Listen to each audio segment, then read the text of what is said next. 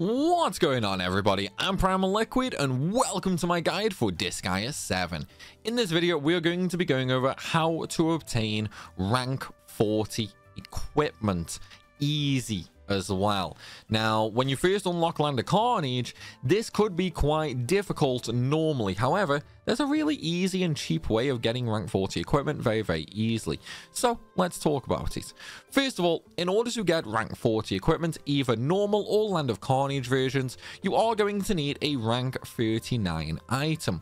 However, these are actually really, really easy to obtain. You're just going to use the Item World Research Squad. Now, obviously right now I have Mr. Gency exits in there. However, what you would do normally, okay, is anything like And stuff like that. So rank 35 items or higher, you would stick eight of them in here. Just normal quality that's all you need. You can use rare and legendary if you want to but normal quality works just as well. Then what you're going to do is you're going to complete 10 normal stages either in the item world or via the carnage dimension or di uh, dimension guide. Once you've completed then stages, you are going to go through and you are going to get these items out by pressing triangle to claim them all. That will then bring up a menu where all the items that you obtain via research will be there. And this will definitely get you rank 39 items very, very quickly. Now, when it comes to the rank 39 items, in order to obtain rank 40 items, we need the item god 2 at the end of those items. So let's talk about the prerequisites for the item god 2 to spawn.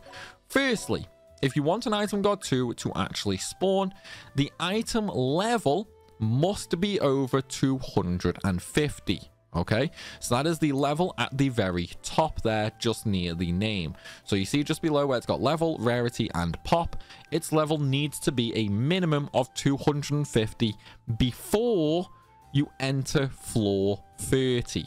Okay, so what you can do is go through floor 1 and then use a Gency exit on floor 29. However, if you go through floor 10 and floor 20, you can very easily leave at the Innocent Town on floor 20, and chances are you are more than likely going to have over level 250 anyway.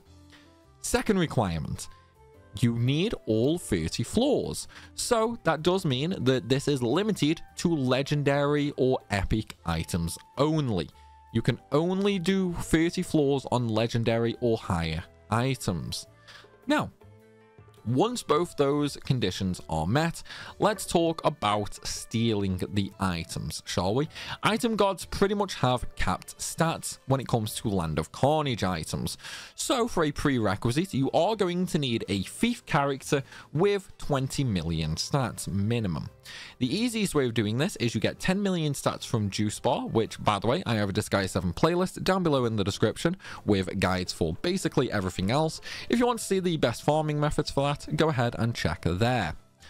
Now, once you get your 10 million stats from the juice bar, you also want to have the character mastering all of the classes. Then reincarnate and level in the Overlord Guard squad for extra stat growth. That will also give you 10 million. So that way you have a thief with 20 million in stats. Then what you want to do is you want to level up two abilities. The first one is Cat Trick, which increases your hit and your speed. This is important if you have a weaker character or you've only just gotten to post game. Then you want to level Cat Snatch all the way up to level 9. This is your stealing ability. The higher level, the more chance you have to actually steal. Then Obviously, our stats are too low compared to the item god. So, you can use your other units to increase your stats and decrease the boss's stats. So for this, what I like to do, okay, and you can do this multiple different ways if you want to. Now, if you are first starting this off, what I would suggest doing is making a succubus class, okay? Make a succubus class, master that, and then you want to also use that class to master the shroom.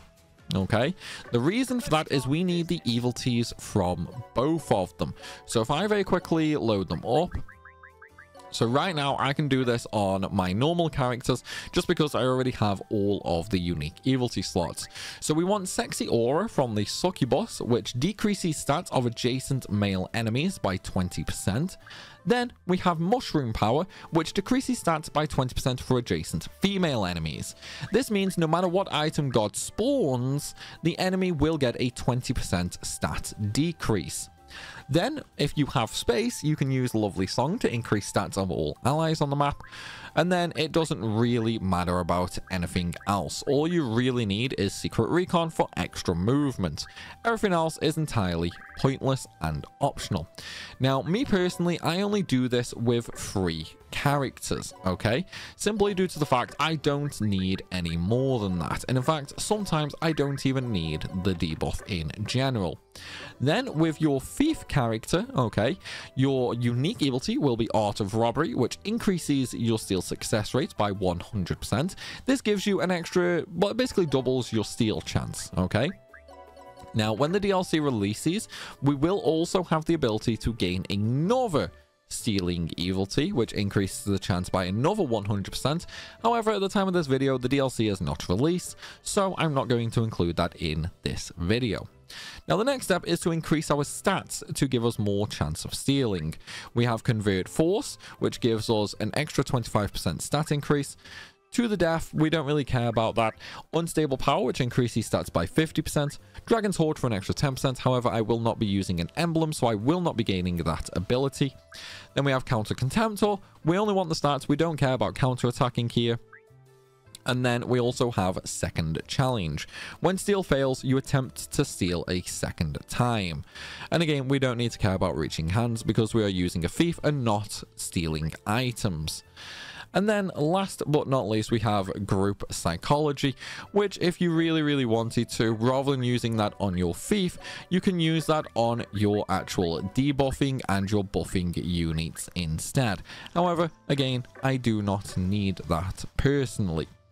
Then, the last thing you are going to need is, if you want to obtain multiples of these items, have a Mr. Gency exit. Then you simply need to go to the item world.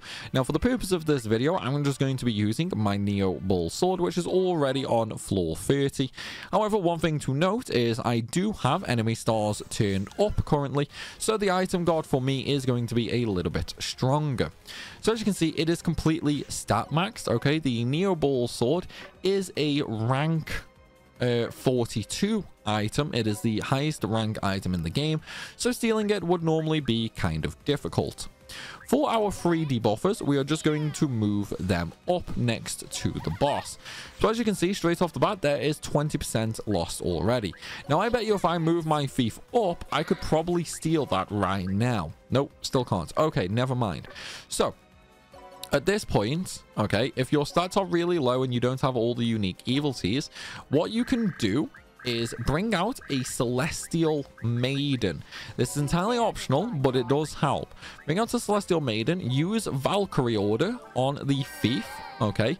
So what Valkyrie does is anytime the Thief acts, you will actually act twice instead. So now we're going to go and use uh, Cat Trick just to increase our hit and our speed. So let's do that really quick. So as you can see, we've just gained nearly 20 million hit and speed, but obviously we've just acted. So we're going to bring a Maiko out, and then we're going to use encouragement, which allows the thief to act again. Now, with our stat increase, can we steal yet? Okay, so we can steal a little bit. That's only with one debuffing unit, though.